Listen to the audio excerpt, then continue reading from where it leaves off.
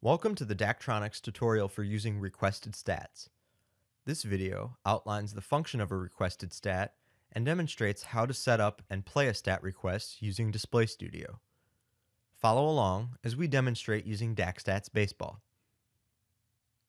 Requested stats can be used with Daktronics stats software or selected third-party software. In order for the stat data to populate, the stats software must be connected and sending game data.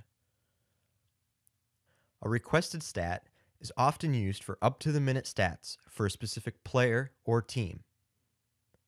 Start by designing a background template. You can use Daktronics Content Studio or create a template in programs such as Photoshop, then import the file into Content Studio as an image. From the Dynamic Data Library, choose the proper league and sport, as well as the stats software used in your facility.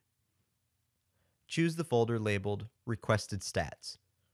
The list of items that appear are specific to the sport, so not all items shown in baseball will appear under other sports. Drag the desired fields out onto the composition. Here we are creating an example of a requested stat frame for home pitcher stats.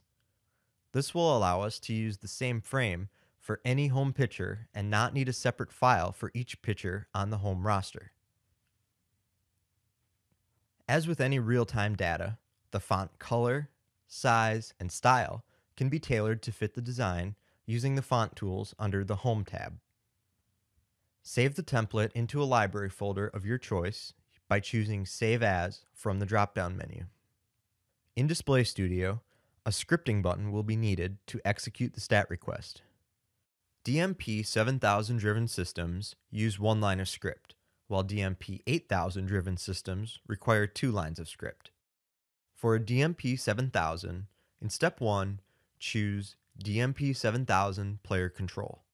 In step 2, choose the sign. In step 3, choose stats request. Step 4 will require a request port data source, and request type. Selections will vary based on the sport, stat software, and the type of stat.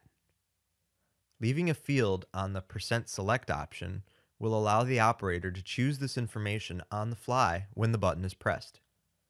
In step 5, choose Continuous. In step 6, click Add and browse to the template file. For DMP 8000 systems, the first script line performs the stat request, while the second script line plays the template file.